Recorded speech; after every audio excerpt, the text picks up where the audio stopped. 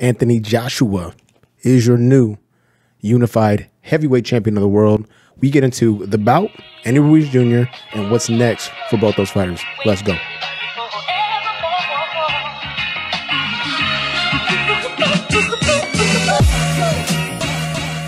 What's going on, y'all? This is your boy JG. Welcome back. Exaggeration and experience. We say doing what we do. Let's get right into it right this second. Anthony Joshua defeats Andy Ruiz Jr. quite easily, I might add, by boxing beautifully to a very clear to see unanimous decision. I want to get into some of the observations I had into the fight. First off, I love the walkout by Anthony Joshua. He really came out with a little fake swag walk. You know, he had the little baby fro from Roots. He had all that. He came out there, and I love the fact that it wasn't hella cats walking out with him. It was him making the walk down the tunnel, making the journey, and making his way to the ring. Ruiz Jr., a little bit of the same. He's always a calm, cool, collected guy.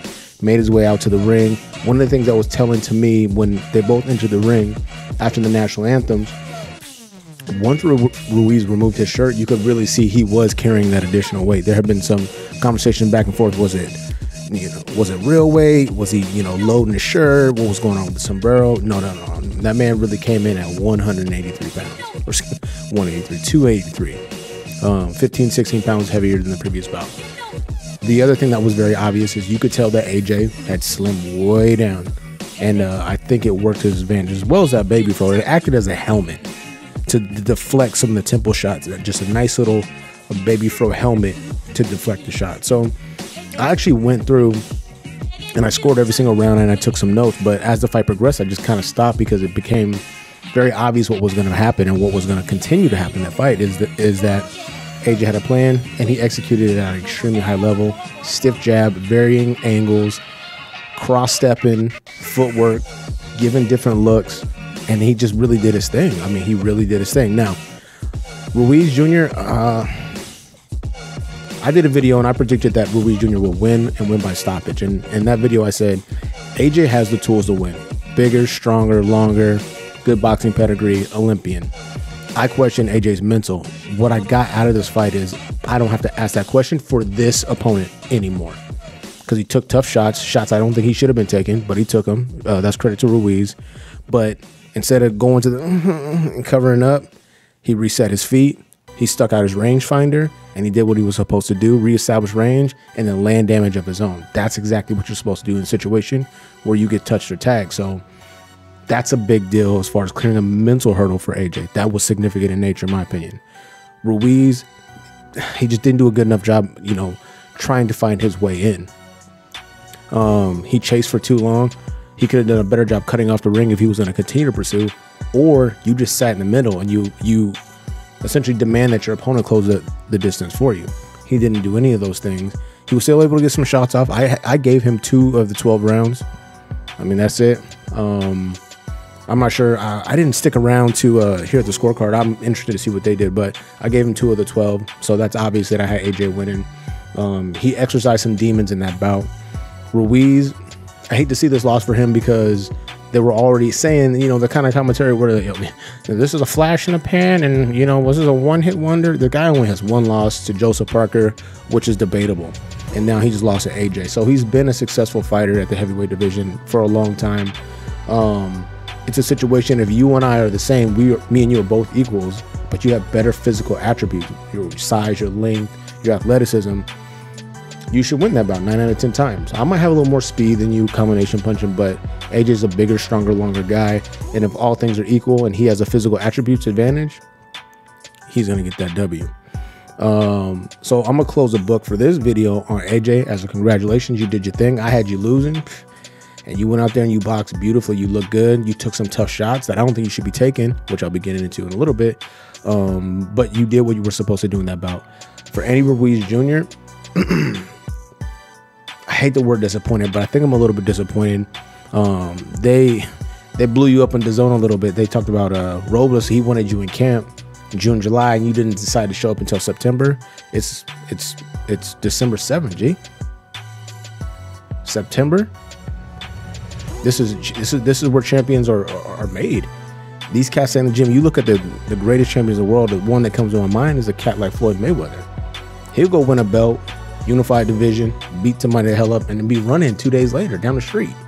That's hunger. That's hunger. And we're not talking about the hunger where you want snacks. We're not talking about that hunger. We know you got that hunger. We we talking about the hunger for success and winning. But I wanted to see a little bit more. I think Andy Ruiz Jr. is still a good fighter, a guy that can still operate in the top six heavyweights um, in the in the division. But tonight definitely was not his night, and I don't think he had proper preparation. He didn't look like the fighter that was at the media workouts. It just was a different look. So I'm gonna put some of that on him, but I'm also gonna credit the game plan of Anthony Joshua because he executed at an extremely high level. So shout out to them. Congratulations to him. Congratulations to UK. Shout out to Andy Ruiz Jr. He's still gonna get that bag. He gonna get paid hand over fist. He gonna go to 310 uh, and just say fuck it, fuck boxing. He got mills now. They doing his thing. With all of that being said, here's my number one takeaway from the bout. From the bout, and this should not come as a surprise to anybody that watches this video. Deontay Wilder is the best heavyweight in the world. He is. He is. If you watch this fight, go back and watch it again. Look at some of the right hands that AJ landed on Ruiz. Turned his head right around. Devastating shots. Ruiz was good. You think he can take that shot from Wilder? Go back, rewatch this fight. Look at some of the hooks, some of the right hands that Ruiz was able to land on. AJ turned his head around, got the sweat flying off, a la Ruiz or a la Ortiz, excuse me. You think he can take that shot from Deontay Wilder? Another thing, AJ, what is he, 6'3, 6'4? Deontay Wilder, 6'6, 6'7 with crazy wingspan? There is no sitting on the outside against a guy that's bigger and longer than you. And then you have to survive the right hand. You have to not get touched clean for an entire 12 rounds. I want to see this fight. I want to see AJ. I want to see Deontay Wilder. I need this. They got the Tyson Fury fight coming up, this, that, and the other. Quite honestly, shit, I'll have Tyson Fury beating AJ because of his size and he's 6'9 and can box and move. That's a compelling matchup. I think this card will actually turned out pretty good. Uh, DAZN finally didn't fuck it up. Shout out to Saudi Arabia. Um, Dillian Whyte, I thought looked horrible.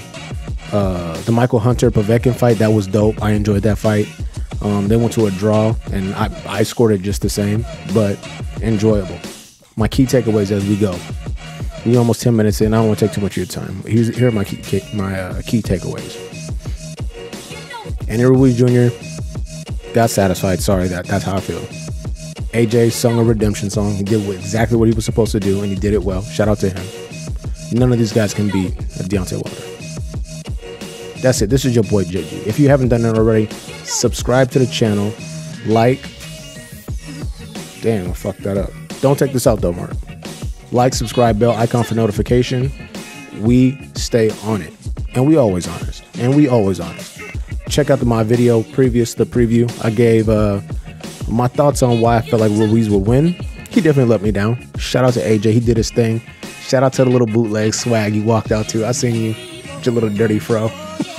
you was doing your thing. But this is your boy JJ. Exaggeration experience. We keep the videos coming. Like I said before, like, subscribe, bell icon for notification, and let me know your thoughts in the comment section on the bout. If you watch this video and you don't put a comment on it, I'm gonna find you. I'm gonna give you one of them AJ right hands. And if you really disrespect, I'm gonna give you a wilder right hand. But we out. This is your boy.